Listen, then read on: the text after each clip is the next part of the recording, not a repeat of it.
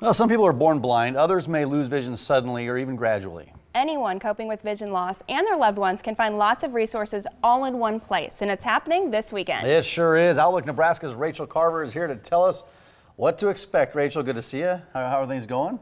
They're going I, well. I, I saw you last week. Is- You have a good weekend?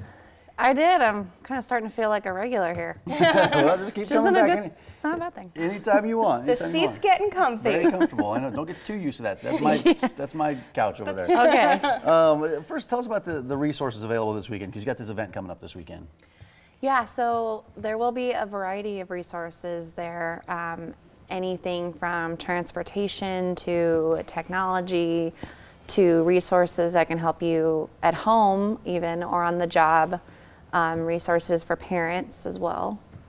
What kind of things should people expect if they've never been to an event like yeah, this and who before? should come to this too? So this is really an informal event for people, whether you yourself are experiencing vision loss or you know someone who is experiencing vision loss, um, to really just come and ask questions. Um, there will be over two dozen resources available who are right here in Omaha, who specialize in services for the visually impaired. You and I had a conversation last week, and, and one of the things we talked about is the technology. Uh, what type of services and technology are going to be on display at this thing for people to see?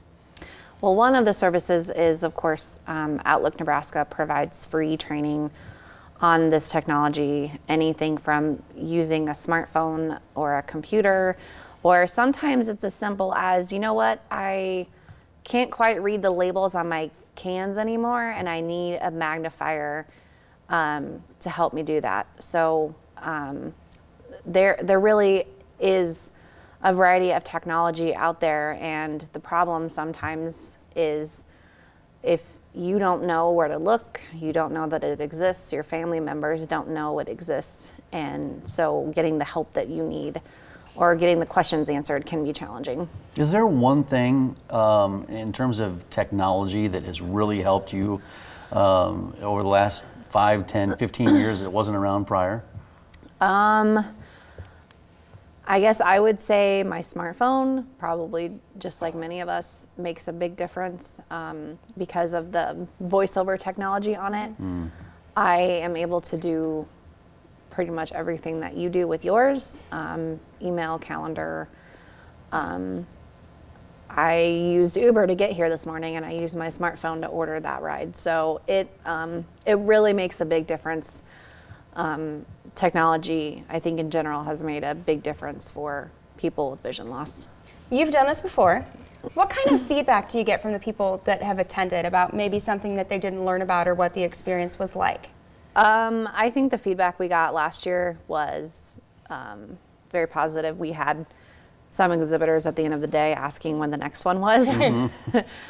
That's always a good sign. so Yeah. It, it was really good, and it's a great way for people to connect, um, for exhibitors to connect with community members and vice versa, um, and just, you know, my father is has macular degeneration and doesn't know where to go, and I don't know where to take him, and I see this, and I take him, and I learn so much, and I feel like I can help him, and now.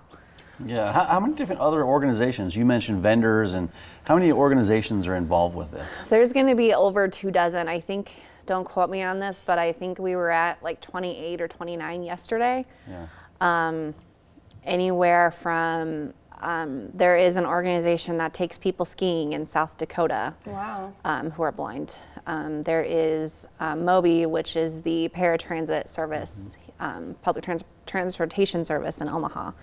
So there, there really is. Um, there's, there's medical professionals that are going to be there. Um, so really, any kind of service that you're looking for um, in terms of vision loss will be there on Saturday. Well, and I think it's important to note some of the things that, that you pointed out earlier with the different levels of vision loss. If it's something you're just starting to experience, maybe there's things out there that you don't know about. So this isn't for Right. people who are just completely blind or legally No. blind. Well, this is.